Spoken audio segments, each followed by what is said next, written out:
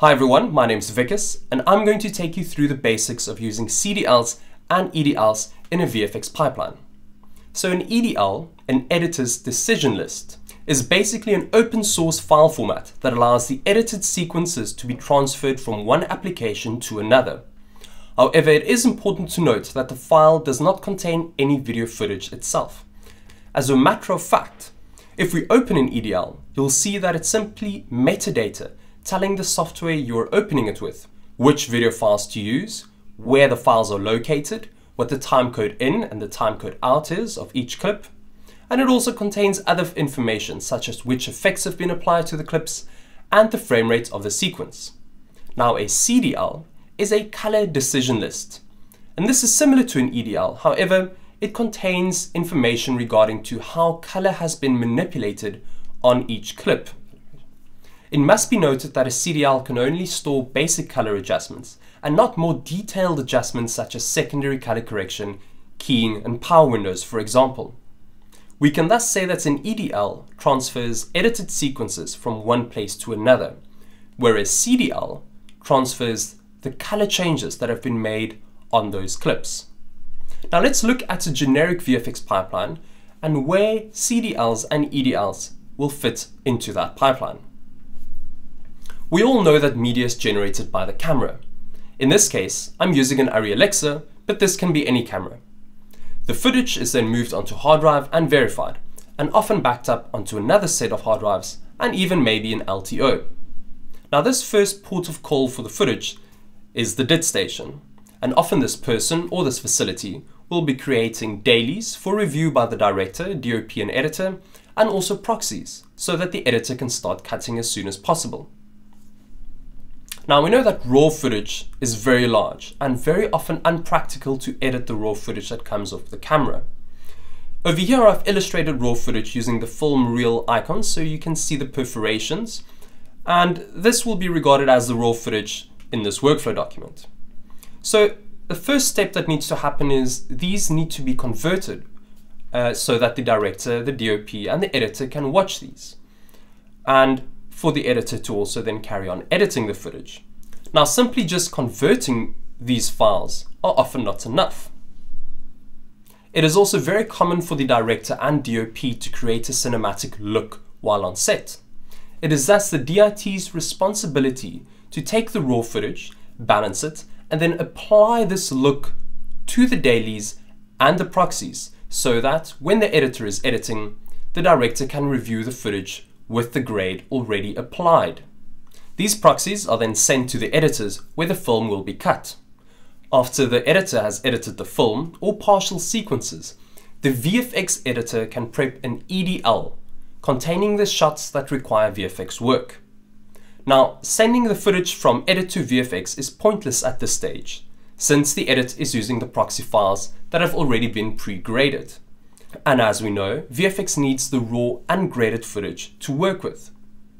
The VFX editor must thus send an EDL containing the VFX clips needed to the DIT. From here, the DIT can then export only the parts of the clips needed for VFX to carry on in full ungraded raw quality.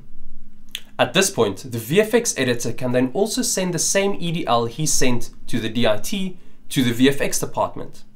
The VFX department can then import this EDL into their editor of choice, either Final Cut, Avid, or maybe even something like Hiero.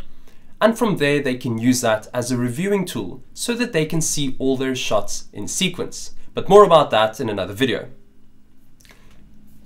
The DIT will then also export a CDL for VFX. Why? Well, let's first have a look at what VFX will be doing. After each VFX shot has been completed, it must be rendered out to be sent back to the editor. However, since the VFX department is working with the ungraded footage and the editing department with the graded proxy footage, VFX must use the information in the CDL to apply the same grade that the DIT did before sending a proxy file to the editor. This shot then replaces the shot in the editing timeline and it allows the director and the editor to watch the edit without noticing a difference between the footage that originated from the DIT or the footage that was rendered out by the VFX department. Besides these proxy files that must be rendered, the VFX department must also render another version of the shot in their full, high quality, ungraded version that looks exactly the way that it looked when the VFX department received it from the DIT. After the editor has finished editing the film, he's integrated the VFX shot and made all other necessary changes, the film must be sent to be graded, to be finished, and then of course to be distributed. Now this process we can refer to as the DI, Digital Intermediate, or even the grading phase. What the editor will do next is send an EDL of his latest cut to the DI. However, we must remember that the EDL does not contain any footage itself.